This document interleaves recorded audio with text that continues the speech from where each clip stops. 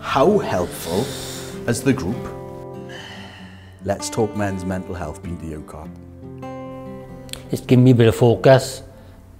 I've not been over dramatic here now. Save lives, we have saved lives, I know. Um, and I've been a little part of that. I can help other people now, and I like helping people. Um, and it's a good laugh, and it's happy and it's sad and it's it's um, special, I think. You know, but you, Well, because it's been with me for a long time, um, I found the group during a particular low spot, which had kind of taken me a little bit by surprise. And I joined joined the group, a bit nervous and stuff. Didn't know whether or not I should be posting. Didn't know whether or not I should do that little introductory post of, hiya, how's it going? Um, and I, I found there was another lad that liked one of my posts, and me and him started chatting, Nathan. Um, and we said there's going to be a, a group over in Tonyrefail. Um, and we thought, oh, we'll go just to show a bit of support. It's been miles out of our way, but we thought, you know, it's a good cause and stuff like that. Um, and I met a bunch of blokes, you included.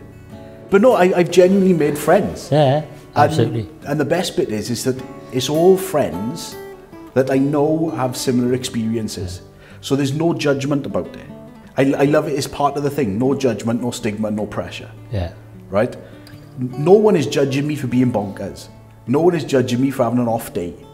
There's no pressure to talk if I'm having a bit of a ropey day. There's no, you know, and no stigma. That No one, no one's going to call you a wuss for saying you need some help. And I tell you the one thing that someone said it on one of the calls a couple of weeks ago, one of the like the group calls and Yeah. stuff, and they said it's like having an army in your pocket.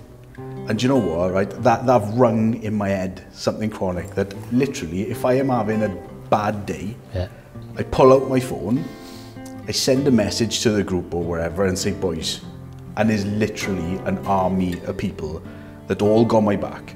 Now, I- find that I have less ropey days because on my ropey days, whereas before I'd kind of like clam up, now I talk to the group. And that's where I get a little bit of that pick me up or wherever from to just go like, ah, it's all right, bud yeah, tomorrow's coming, stick with it, kiddo. Or you see a post and all of a sudden you realise that someone else might need your help and they might be feeling worse than you are. Yeah. And all of a sudden that can pick you up. And it's like, oh, Joe, I'm having a down day, but flipping heck, my buddy down by here, he needs someone right now, like. Right, I got to switch into I'm helping mode now. It's mega. I'm really proud of it. Yeah. Really proud. I'm really proud to be part of it. Cheers, bud. Cheers, buddy.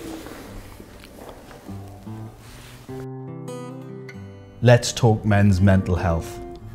No pressure, no judgment, no stigma.